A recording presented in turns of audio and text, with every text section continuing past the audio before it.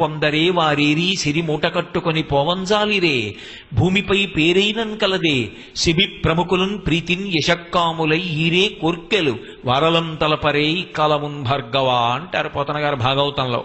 ఎందరో పరిపాలన చేసిన వారు అందరూ వెళ్ళిపోయారు.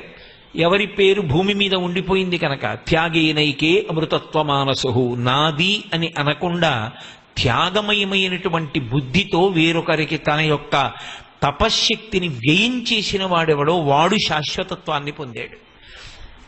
ఋషుల యొక్క గొప్పతనం ఎక్కడుందంటే వాళ్ళు అహరహం తపస్సు చేసి ఈశ్వరానుగ్రహ పాత్రులయ్యారు మంత్రద్రష్టలయ్యారు. మంత్రములకు ఋషులయ్యారు ఒక్కొక్క బీజాక్షరానికి ఒక్కొక్క ఋషి అధిదేవత.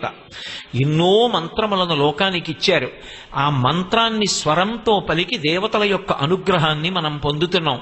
ఆ స్థాయికి పెరిగిపోయినటువంటి ఋషి యొక్క రుణాన్ని తీర్చుకోవడానికి ఋషికి తర్పణ ఇస్తాం. అందుకే మనుష్య జాతిలో పుట్టిన మనుష్య వర్గంలోకి ఋషి రాడు. ఒక్కొక్క ఋషి ఈ దేశంలో అంత గొప్ప ఖ్యాతి గణించాడు. ఆయన యశోశరీరుడై నిలబడిపోయాడు. తన కొరకు కాదు తన కోసం అడగలేదు. నా తర్వాత కూడా ఈ జాతి తరించాలి కాలాన్ని లెక్క కట్టారు. అది ఋషుల యొక్క గొప్పతనం. ఋషుల గొప్పతనం ఎక్కడుందంటే రాబోయేటటువంటి కాలం ఎలా ఉంటుంది? ఆ కాలములో ధర్మమునందు అనురక్తితో మనుష్యులు నిలబడగలిగినటువంటి పరిస్థితులు ఉంటాయా? రాబోయేది కలియుగం. ధర్మమునందు ఊంచుకోవడం అంత తేలిక కాదు. కాబట్టి ఇప్పుడు వీళ్ళందరినీ అనుగ్రహించాలి. అనుగ్రహించడం కోసమని ఒకటి వాంగ్మయాన్ని ఇచ్చారు అందుకే ఋషి రుణం ఎలా తీరుతుంది అంటే వాంగ్మయం చదువుకుంటే తీరుతుంది. వాంగ్మయం ప్రచారం చేస్తే తీరుతుంది. రెండు ఋషులు ఈ జాతికి అందించినటువంటి అద్భుతమైనటువంటి వరం మంత్రభాగం.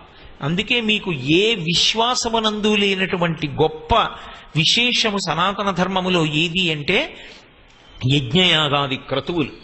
యజ్ఞము ద్వారా యాగము ద్వారా అగ్నిహోత్రము ద్వారా హవిస్సుని దేవతలకిచ్చి ప్రీతి పొందిన దేవతల యొక్క అనుగ్రహము చేత మనుష్యుల యొక్క కోర్కెలు తీర్చుకునేటటువంటి వ్యవస్థకి మంత్రభాగాన్ని స్వరంతో ఇచ్చినటువంటి మహాపురుషులు ఋషులు. వారు చేసినటువంటి వేరొక గొప్ప ఉపకారం నదులను ఇక్కడ ప్రవహింపచేశారు. ఇది భరతఖండం ఇది పుణ్యభూమి ఇది పూజాగృహం. ఒక్క పూజాగృహం జాగ్రత్తగా ఉందనుకోండి పూజాగృహాన్ని శౌచంతో ఉంచి పూజాగృహంలో మనం పరమ భక్తితో ఈశ్వరుణ్ణి పూజ చేసి వాడు ఉన్నాడు సుమా అన్న భావనని మనసులో ప్రోది చేసుకుని బ్రతికిన కారణం చేత మనము మనని నమ్ముకున్న వాళ్ళు కూడా ఎలా రక్షింపబడతారో అలా భారతదేశాన్ని కాపాడితే ప్రపంచమంతా కాపాడబడుతుంది. ఇది పూజ గది. ఇక్కడ రావాలి నదులు. ఇక్కడ కావాలి జీవనదులు. ఇక్కడ కావాలి ఆ శక్తి. ఇక్కడ కావాలి ఆ పవిత్రత. ఇక్కడ వాళ్ళందరూ కూడా అటువంటి వైదిక ధర్మమును అనుష్ఠించగలిగినటువంటి వాళ్ళై ఉండాలి. వాళ్ళని కాపాడడానికి తీసుకొచ్చారు ఆ నదుల్ని. అందుకే కృష్ణానది కూడా ఏ కారణం చేత వచ్చింది అంటే ఒక మహర్షి చేసినటువంటి అద్భుతమైనటువంటి తపఫలంగా వచ్చింది. సహ్య మహర్షి అని ఆయన కృష్ణ భగవానుడి గురించి తపించాడు. కృష్ణ భగవానుడి గురించి తపిస్తే కృష్ణ భగవానుడిగానే దర్శనమిచ్చాడు. నేను ఈ మాట కృష్ణ భగవానుడిగానే అని ఎందుకంటున్నానంటే విష్ణువు యొక్క అవతారాల్లోనూ వెలియడంలోనూ ఒక చమత్కారం ఉంటుంది. భద్రాద్రి రామచంద్రమూర్తి కోసం తపస్సు చేసింది. ఆయన చతుర్భుజుడై దర్శనమిచ్చాడు. కాదు నాకు రాముడే కావాలన్నాడు. నాకు రాముడే కావాలి అని అడిగితే అప్పుడు ఆయన నాలుగు భుజాలతో ఉన్నప్పటికీ కూడా శంఖచక్రాలు పట్టుకుని ఎడమతల మీద సీతమ్మని పెట్టుకుని పక్కన లక్ష్మణస్వామితో వెలిశాడు శ్రీకృష్ణ కరుణామృతాన్ని ఇచ్చినటువంటి లీలాశుకుడు రామదర్శనం కృష్ణ దర్శనం కోసం పరితపిస్తే రామచంద్రమూర్తిగా దర్శనమిచ్చాడు. ఆయన ఆయన ఎంత గడుసువాడంటే ఆయన అన్నాడు ఏమనుకోకు నీకు వెంటనే నమస్కారం పెట్టలేదని విహాయకోదండ సరౌ ముహూర్తే అన్నాడు. ఏమనుకోకు రామా నాకంత అనురక్తి లేదు. అలా ఉంటే నాకు నమస్కారం చేయబుద్ధి లేదు. కాసేపు ఆ చేతిలో కోదండం పక్కన పెట్టేయి. అదిగో బాణం పక్కన పెట్టేయి. ఆ సుదర్శన చక్రం చేత్తో పట్టుకో. శంఖం చేత్తో పట్టుకో. పీతాంబరం కట్టుకు నిలబడు. కాళ్ళ మీద పడిపోతాను. అలా నాకు చూడాలని ముచ్చట. అది ఇది ఒకటే అని నాకు తెలుసు సుమా. కానీ ఇలా చూడడం ఇష్టం. ఏం చేయమంటావు? అది నా బలహీనత. అలా కనపడు అన్నాడు. ఓ చిరునవ్వు నవ్వి రాముడు కృష్ణుడయ్యాడు. అప్పుడు ఆయన నమస్కారం చేసి కృష్ణ కృణామృతం ఇచ్చాడు. ఒక్కొక్కసారి ఈ చమత్కారం ఉంటుంది. ఒకలా అడిగిన వాడికి వేరొకలా కనపడుతూ ఉంటాడే కానీ సహ్య మహర్షి విషయంలో అలా జరగలేదు. కృష్ణుడిగానే సాక్షాత్కరించాడు. ఏం కావాలని అడిగాడు. నాకు మోక్షం ఇమ్మని అడగలేదు. నాకు నీ పాదముల యందు నిరంతర భక్తి నిమ్మని ఆయన అడగలేదు. లేకపోతే ఏదో నా భార్యా బిడ్డలకి ఇంత ఐశ్వర్యాన్ని ఇమ్మని ఆయన అడగలేదు. నీవు నీవు ఒక నది రూపంలో ప్రవహించు అని అడిగాడు. దేనికి?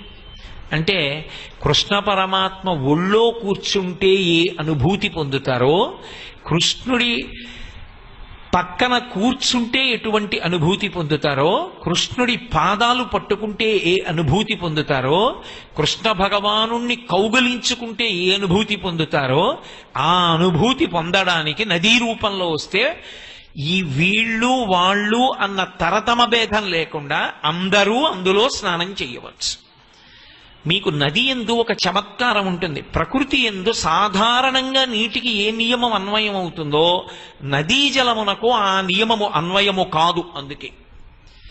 మీరు పడిషం పట్టి ఉన్నారనుకోండి సన్నీళ్ళలో స్నానం చేశారనుకోండి పడిషం ఎక్కువ అవుతుంది. అంతవరకు ఎందుకంటే మీకు నేను ఉదాహరణ చెప్తా. ఇప్పుడు రామాయణాన్ని ఆవిష్కరించారు శ్రీమాన్ ఎల్వి సుబ్రహ్మణ్యం గారు. ఎల్వి సుబ్రహ్మణ్యం గారు ఇక్కడికి రావడానికి ముందు విజయవాడ వెళ్ళారు. విజయవాడ వెళ్ళి అయ్యో కృష్ణానది స్నానం చేయలేకపోతున్నానే. బాగా పడిశం పట్టేసింది కంఠం పోయింది. కృష్ణానది స్నానం చేయకుండానే విజయవాడ నుంచి వెళ్ళిపోతున్నానే అనుకున్నారు. ఇంతలో విజయవాడలో ఉన్నటువంటి ఒక గొప్ప వేద పండితుడు వారు వచ్చారు అని తెలుసుకొని ఒకసారి వెళ్ళి కలవచ్చా? సౌకర్యంగానే ఉందా కలవడం? అని అడిగాడు. అడిగితే ప- బాగా పడిశం పట్టింది దగ్గొచ్చింది కంఠం పోయింది ఇబ్బంది పడుతున్నారన్నారు. ఓ అయితే ఇప్పుడే కృష్ణ స్నానం చేస్తే సరి పడిశం పోతుంది అన్నారు. అంటే ఆయనకు ఆ వార్త వెళ్ళింది. ఇప్పుడే కృష్ణ స్నానం చేస్తే పడిశం పోతుందిట అని. పోనీలే వైద్యుడు అదే మంది ఇచ్చాడు రోగి అదే మందు కోరుకున్నాడు అని సుబ్రహ్మణ్యం గారు కృష్ణానది స్నానానికి వెళ్ళారు. కృష్ణానదిలో స్నానం చేసి ఆయన కాకినాడ వచ్చారు ఆయనకి జ్వరం రాలేదు దగ్గెక్కువలేదు ఉన్న పడిశం పోయింది. ఈ మాట నే చెప్పట్లేదు. పొద్దున్న మేము ఇద్దరం వెడుతున్నప్పుడు ఆయనే నాతో కారులో చెప్పారు. మీరు నది అంటే అది కేవలము నీటి ప్రవాహము కాదు దాని ఎందు ఈశ్వర విభూతి సంతరించుకొని ఉంటుంది. ఆ అనుగ్రహ శక్తి దాని ఎందు నిక్షిప్తమై ఉన్నది. ఎందుకని? ఒక మహానుభావుడు మనందరి కోసం పుచ్చుకున్న మాట. ఆయన సాక్షాత్ శ్రీకృష్ణ పరమాత్మ యొక్క శరీరమే అందులోంచి ఉత్పన్నమైనటువంటి నీరే నదిగా ప్రవహించాలని కోరాడు. అనుగ్రహించాడు కృష్ణుడు. నా శరీరము నుండి వచ్చినటువంటి నీరు లేదా శరీరమే నీరు అయి ఇదిగో ఆ మహాబలీశ్వరం దగ్గర నుంచి కూడా ప్రవహిస్తుంది. అందుకే కృష్ణుడు నలుపు కృష్ణానది నలుపు. ఇద్దరూ నల్లగా ఉంటారు. ఆ నల్లగా ఉండడంలో ఒక చల్లతనం ఉంటుంది. నలుపు కారు నలుపు కాదు. మీరు ఒక విషయాన్ని బాగా గుర్తుపట్టవలసి ఉంటుంది.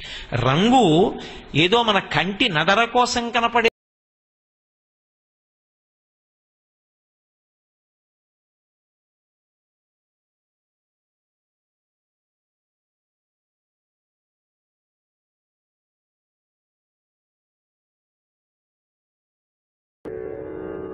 you.